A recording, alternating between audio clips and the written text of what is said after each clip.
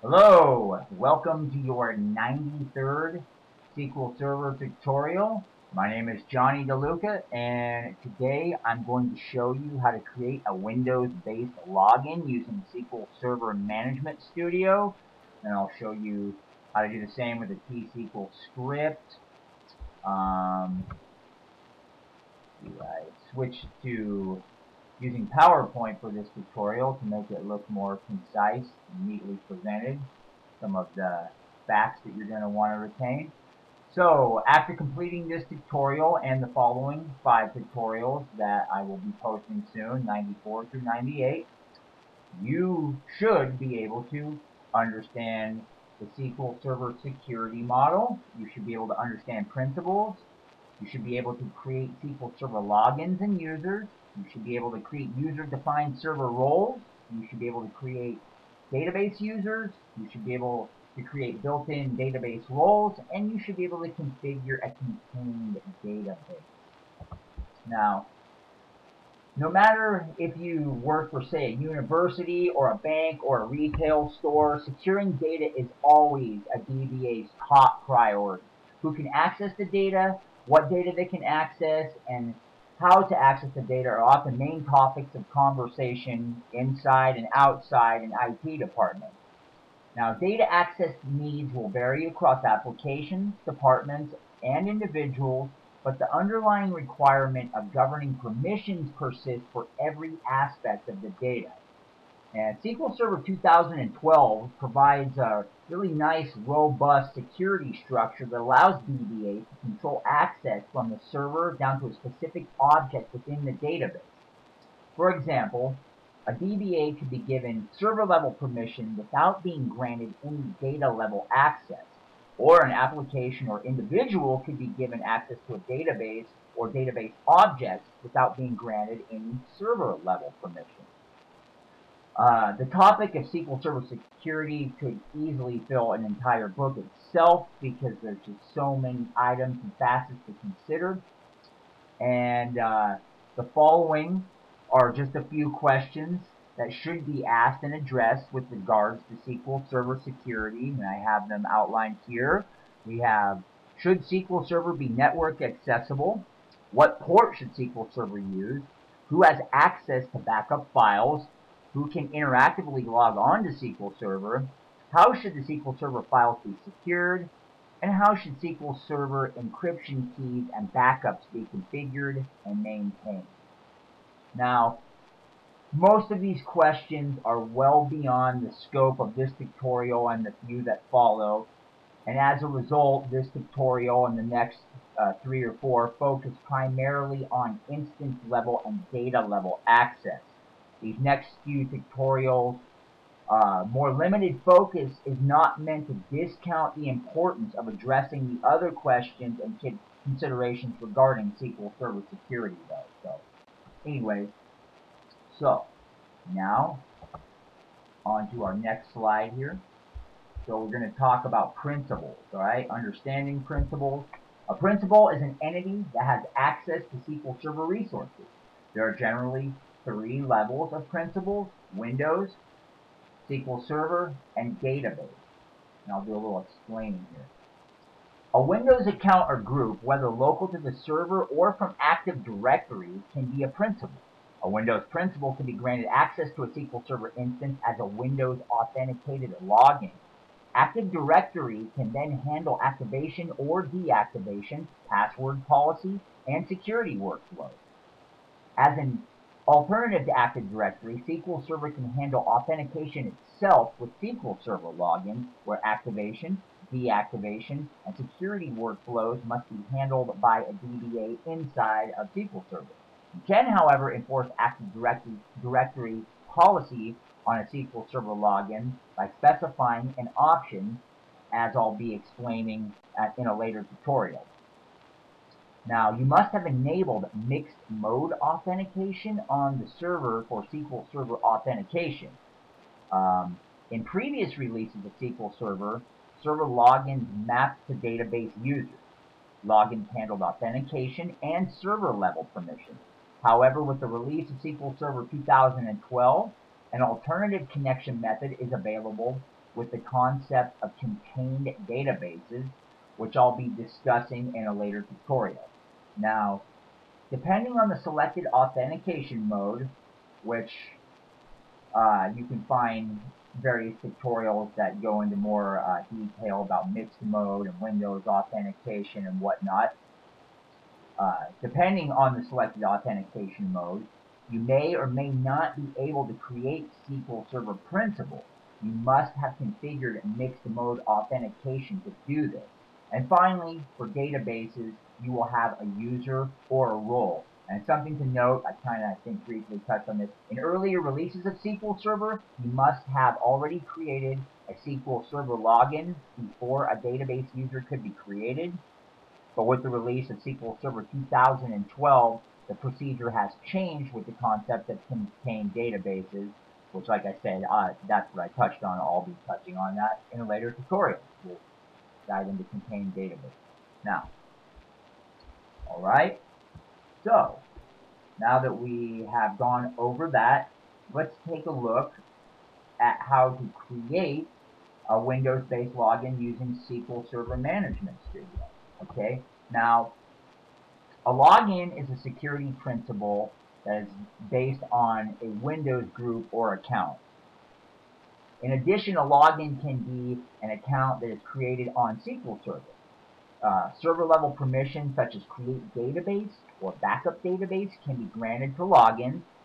And if a login needs to access a database, it must be mapped to a database user. Um, and I'll be getting into more discussion uh, either in this tutorial or the next about creating database users. Um, by default, the SA login principal is created when SQL Server is installed but if you did not configure mixed mode authentication, the account will be disabled. The SA account is an administrator account that has access to every SQL Server resource, and as a best practice, you're going to want to probably avoid sharing the password for this account and ensure that the password is changed on a regular or semi-regular basis. Okay? So, now, let's dive in. So first to start, go ahead and pull uh, Management Studio up connect to a server, and then open the Object Explorer if it's not. Expand the server tree. We're going to right-click the security folder right here. Boom. And then we're going to go ahead and click on New, and we're going to click on Login. Now, you must have an existing Windows account created in Active Directory on your local machine to continue. For instance, uh, right here, I am admin L505 and if I want uh, and slash admin. So if I went ahead and created that, again, it'll say error. Um, this has already been created. Um, so if you're not on a domain, what you're going to want to do before we proceed is create a guest user account in Windows. So I can show you how to do that real fast too. I'm using Windows 7 this is going to be somewhat similar just depending on what version of Windows you are in. And you are going to want to go to Control Panel. And then you are going to want to go to to User Accounts right over here. And then we're going to go over here to Manage Another Account. And as you can see, I've already created a couple other ones. I created standard user and standard user 2. Um, you're going to want to create, uh, click on create a new account and you can choose to make it an administrator or standard user. I suggest make it a standard user since you probably already are the administrator. I'm not going to because I already have, but you're just going to name it and uh, press create account. Simple as that. Okay. I can get out of here now. Now, to show you, uh, we're going to name it, we have to take our server name, mine's admin L505, okay.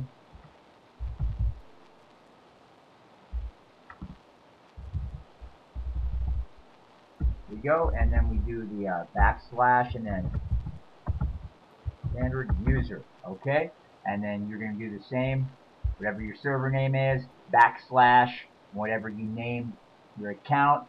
Um, since we're using Windows-based authentication, uh, we're going to obviously ensure that that's checked. Uh, if this was a SQL Server login, you would select the SQL Server authentication option, and with this option selected, a password must be entered and confirmed using the password and confirm password text boxes. And as you can see, if I click this, these come alive. I'm going to talk about these. Um, you have the choice to enforce Windows Active Directory uh, password policies and password expiration policies on this account by selecting the enforce password policy and enforce password expiration checkboxes. And this means that whatever policies have been configured for passwords and password expirations by your Active Directory administrator, which might be you, will be enforced for this SQL Server login. And then finally, you can specify that the password must be changed when the account is initially used by selecting the user must change password at next login option. For now, we're just going to ensure that the Windows authentication option is selected. And we're going to leave the next option, map to certificate and map to asymmetric key, cleared. You can only select only one or the other anyway. Um, something to note, certificates and asymmetric keys are specific to encryption. And you can learn more about these by just doing a Google search or SQL Server books online. Okay, now moving forward uh, a little bit more. Um, selecting the map to credential checkbox right here uh, allows you to map this login to the credential of another account. This option allows the SQL Server login to access resources external to SQL Server under the context of the login specified in the credential. For now, though, leave this box clear. Um, when creating an account that will have database level access, you should specify a default database using the default database drop down, database, database, I believe it's right here. Okay? And I have it on master for now. Uh, when first authenticated to the SQL Server instance, a new connection will be in the default database's context. For example, if a new query window is opened by SQL Server Management Studio, the current database displayed will be the default database. If this is a login that will be used for data access, as a best practice, you're going to always want to select a user-created database and not a system database Assume the person who owns this account will be the DBA for this instance, so the default database can remain master and it will remain master for the tutorial. The final drop down to default language uh, by default uses the default language configured on the server. So for us that's English. For, for me that's English. I don't know about you guys watching. But as an alternative, you can select a language a different language, but for the purposes of this exercise, we're going to use default.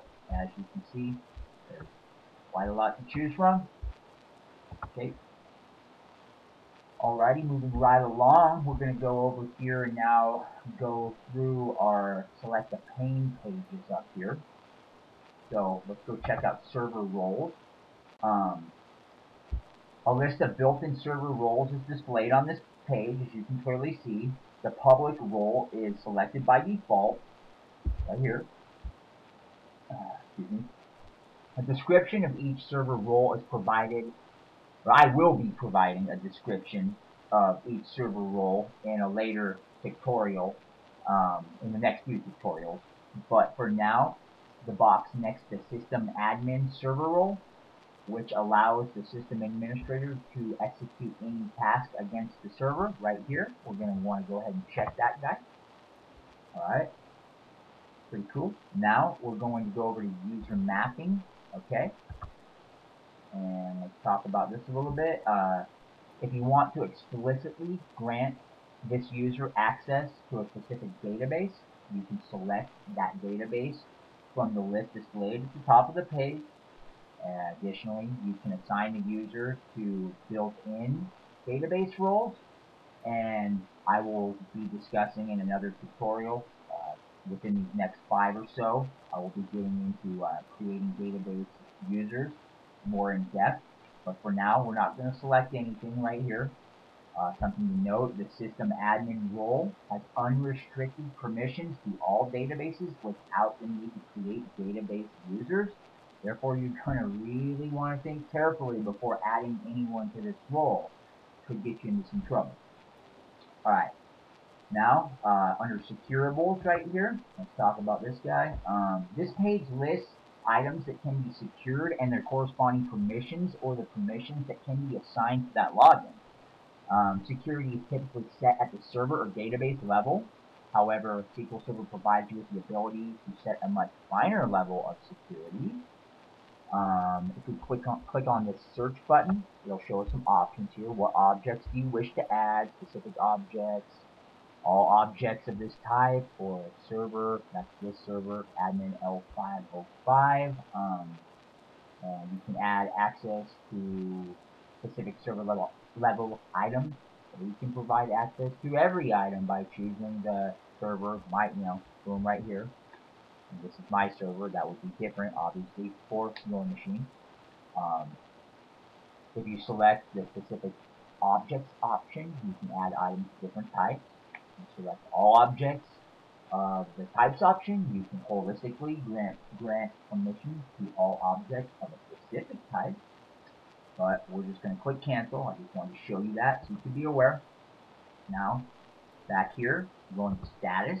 Okay. Um, on this page, you have the ability to grant or deny the login permission to connect to the server. We're going to want to make sure that grant option is selected, which it is, and we're going to want to ensure that the enabled option is selected. Okay, we're good to go. Now, finally, if this was a SQL Server account, you could lock out the account just as you can with Active Directory, but this isn't. This is a Windows. So we're going to click OK button.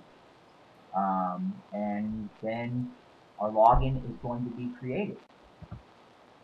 Alright, now, how can we tell if it was created or not? I'll show you. Click here, and then we expand this login folder, and boom, standard user. I, that's the one we just did. Pretty cool. So you now know how to create a Windows-based login using SQL Server Management Studio. Congratulations. Now I'll show you what the script looks like for if you wanted to do the same thing with T-SQL. I have that guy right over here. Okay, so this would be the database we'd be using. And just as I had outlined when we went through the stages in Management Studio, that's my server, admin L505, and that's the standard user. I did one, so if I wanted to go back to control panel and create another user, which I did actually, standard user 2. But you would just go ahead and paste this in our query editor and hit execute. Now, this is a Windows-based login. Now, I've been talking about SQL-based login. If we wanted to go ahead and execute the T-SQL script that would create a SQL-based login, we would use this script here. And we see use master create login standard user 2. And remember, we have to have a password when we use um, the SQL login. So these are really handy. You just have to remember to change the, the corresponding server name and account name to match yours but go ahead and I would copy this down and save this because you could definitely use it at a later time. And that does it for this tutorial. In my next tutorial, we are going to start diving into creating user-defined server roles and some other really cool stuff. So I look forward to seeing you there. Thanks for checking this out. Bye.